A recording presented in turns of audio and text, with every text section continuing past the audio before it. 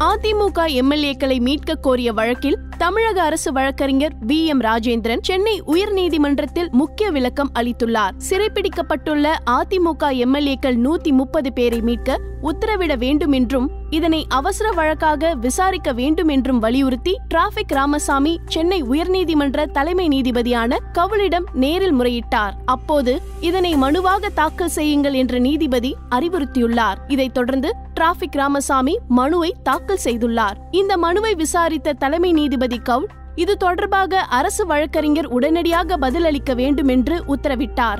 அப்போது ஆஜரான அரசு வழக்கறிஞரான வி. எம். ராஜேந்திரன் சட்டமன்ற உறுப்பினர்களுக்கான விடுதியில் அதிமுக எம்எல்ஏக்கள் நூத்தி முப்பது பேரும் சுதந்திரமாக உள்ளனர்.